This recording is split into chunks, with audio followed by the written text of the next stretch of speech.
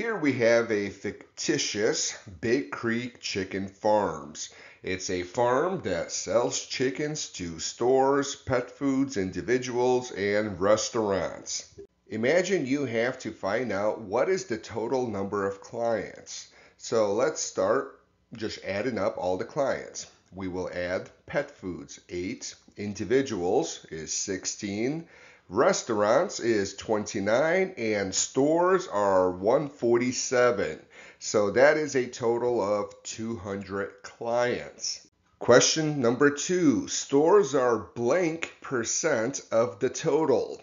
So the way we do this is we take the store clients, which is 147, and we divide it by 200, the total number of clients. And the answer, if you type it on your calculator, will be 0.735.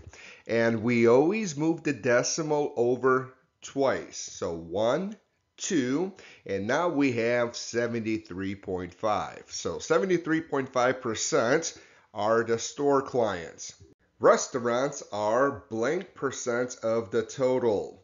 So we will take restaurants, which is 29 clients, divided by the total of 200 clients, and we get 0.145. Let's move the decimal over twice, and we get 14.5%. Next, we have individuals. So individuals are what percent of the total?